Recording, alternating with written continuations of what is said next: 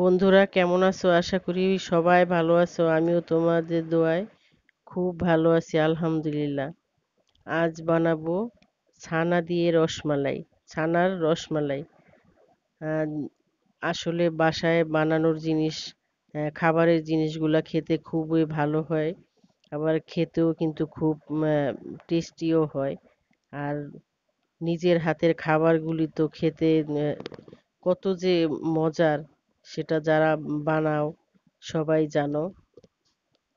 তাহলে দেখো আমার মিষ্টিটা কত সুন্দর হয়েছে। এরকম একটি শর্ট এবং মজাদার মিষ্টি যদি আমরা বাসায় বানিয়ে খেতে পারি, তাহলে তো ভালোই লাগে। তাহলে চলো মিষ্টিটা আমি কীভাবে বানালাম তোমরা দেখতে থাকো। এখানে আমি প্রায় দেড় লিটারের মতো দুধ নিয়ে নিয়েছি। এখন একটু বলক আসার জন্য অপেক্ষা করব। তবে ছানা কাটার জন্য কিন্তু বেশি এটা জাল দেওয়া যাবে না। শুধু একটা বলক আসলেই হবে। আর এই দুধটা কিন্তু খাঁটি গরুর দুধ হতে হবে। এখানে আমি তিন টেবিল চামিচ ই নিয়েছি, ভিনেগার।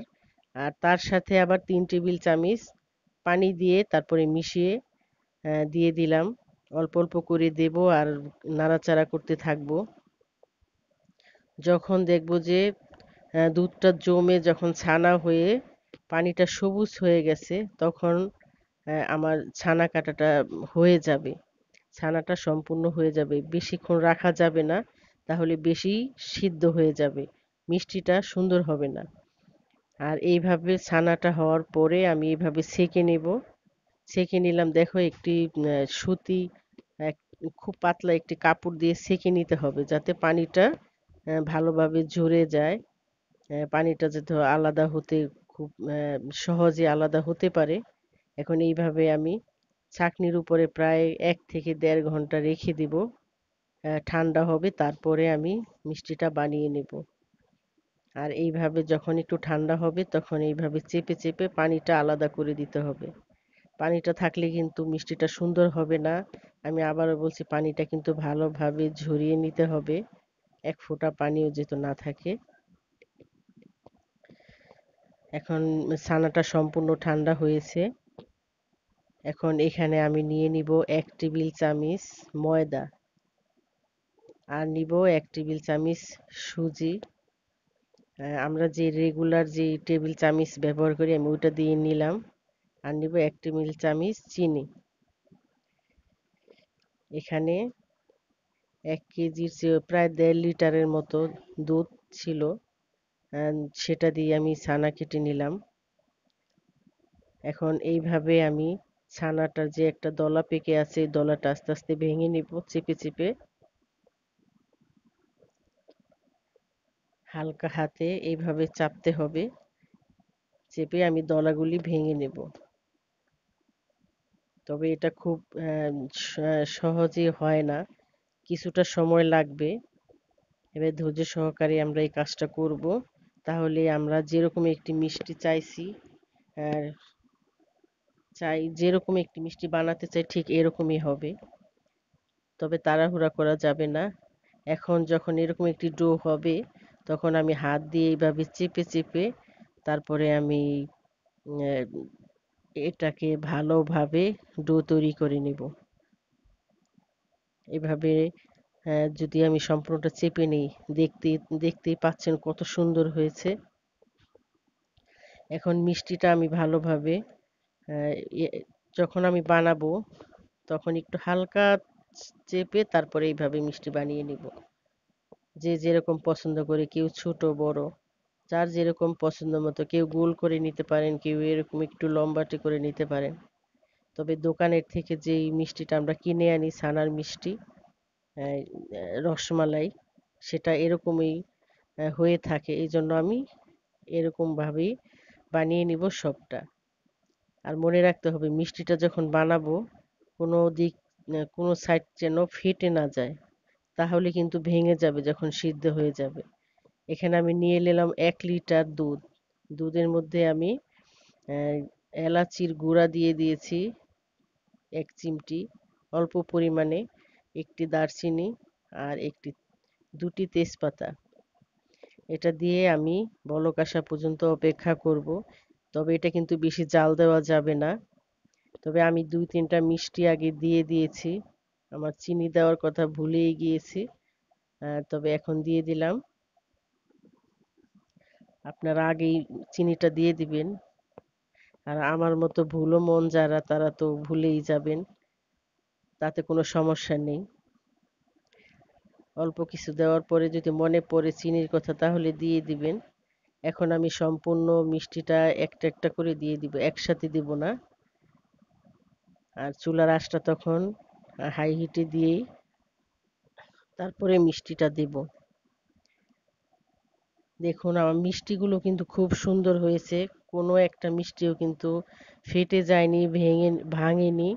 খুব সুন্দর হয়েছে মিষ্টিটা। এখন আমি বলক আসার পরে আমি ঢেকে দিব। এটা কিন্তু প্রায় বিশ থেকে পঁচিশ মিনিট আমি রান্না করব। ছানার মিষ্টি এত সময় লাগে না। আমি বিশ মিনিট রান্না করব। এভাবে ঢেকে দেওয়ার পরে যখন এরকম বলক এসে যাবে তখন ঢাকনাটা উঠিয়ে কাছেই থাকবেন কাছে থাকতে হবে। আবার যখন বলক এসে যাবে, তবে চুলার আঁচটা মিডিয়ামে দিতে হবে, লোতে দেওয়া যাবে না তাহলে মিষ্টিটা তাড়াতাড়ি সিদ্ধ হবে না। এরকম ভাবে অন্তত তিনবার আমি ঢাকনা উঠিয়ে এভাবে ফুটিয়ে নেব।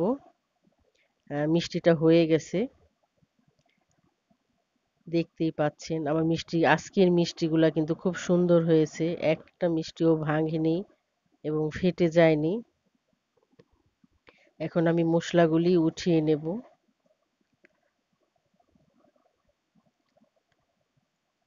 আমার এই রেসিপিটি যদি ভালো লাগে তাহলে লাইক, শেয়ার দিন।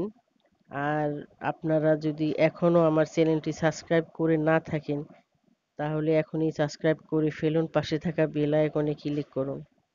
ছোট বড় যারা আছেন সবাই আমার হ্যাঁ, বন্ধু মনে করে হ্যাঁ, আমার চ্যানেলটি অবশ্যই সাবস্ক্রাইব করুন।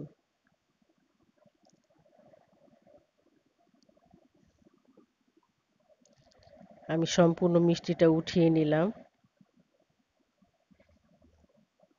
তবে মিষ্টিটা উঠানোর পরে কিন্তু আমি ঢাকনা দিয়ে ঢেকে রাখব। যা যাতে উপরে সাইডটা শুকিয়ে না যায়। এখন দিয়ে দিব গুঁড়ো দুধ।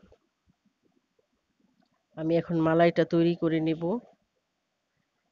তবে এটা দেওয়ার পরে একটু আমি ছেঁকে গুঁড়ো দুধটা দেওয়ার পরে আমি এটা যে চালনি দিয়ে আমরা ছানাটা ছেঁকে নিয়েছিলাম, ওইটা দিয়ে ছেঁকে একটি চামিচ দিয়ে চেপে চেপে তারপরে সরটা গলিয়ে দিব। যখন আমি দুধটা জাল দেওয়ার পরে কিন্তু একটা সর পরে মালাইটা দেখতে তেমন একটা ভালো লাগে না। তখন ওরকম চালনির উপরে ঢেলে তারপরে চামিচ দিয়ে একটু চেলে দেওয়া যায় তাই এরকম মিক্স হয়ে যায় সম্পূর্ণটা মিশে যায়, দেখতেও ভালো লাগে। এখন দিয়ে দিলাম এখানে দেড় কাপের মতো হবে কন্ডিস মিল্ক। এখন এখানে আর আমি চিনি দেব না, তবে যারা আরও মিষ্টি পছন্দ করে এখানে কিন্তু প্রচুর মিষ্টি হয়েছে। এখানে আর এখন এক কেজি নেই। হাফ লিটার দুধ আছে এখানে। আমি যেই পরিমাণে মিষ্টি পছন্দ করি বা আমাদের বাসায় পছন্দ করে, আমি ওই, ওইভাবেই দিয়ে দিয়েছি। যারা পছন্দ করেন আরও মিষ্টি, তারা আরও বেশি ঘন করে দিবেন। এখন মালাইটা আমি গরম ঢেলে দিব। মালাইটা সবসময় মনে রাখবেন, চুলার থেকে নামিয়ে গরম গরমই মিষ্টির উপরে ঢেলে দিতে হবে। তাহলে মিষ্টিটা খুব সফট থাকবে এবং ভালো লাগবে, রসটাও মিষ্টিতে ঢুকে যাবে। এটা শিরা দিয়ে সিদ্ধ রান্না না করে এইভাবে দুধ দিয়ে যদি রান্না করা যায়, তাহলে মিষ্টির স্বাদটা কিন্তু বহু গুণে বেড়ে যায় আর খেতেও কিন্তু খুব ভালো লাগে। এখন এইভাবে রেখে দিব, মালাইটা কিন্তু একটু আছে। আর একটু একটু রেখে দিয়েছি যদি প্রয়োজন হয় তাহলে আমি দিয়ে দিতে পারব। এখন আর একটু মালাই দিয়ে ছড়িয়ে এই গরম ভাবটা থাকাকালীনই আমি একটি ঢাকনা দিয়ে ঢেকে রেখে দিব।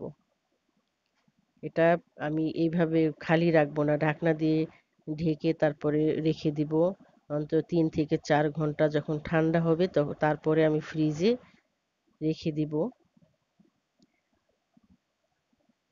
দেখতেই পাচ্ছেন কত সুন্দর হয়েছে। আসলে এই রসমালাইটা বাসায় তৈরির এই রসমালাইটা আসলে খেতে খুবই মজার এবং যারা বাসায় বানিয়ে খান তারা অবশ্যই জানেন। অনেক কথা হলো, ভুল ত্রুটি অবশ্যই ক্ষমা করে দিবেন। ভালো থাকেন, সুস্থ থাকেন, সুন্দর থাকেন।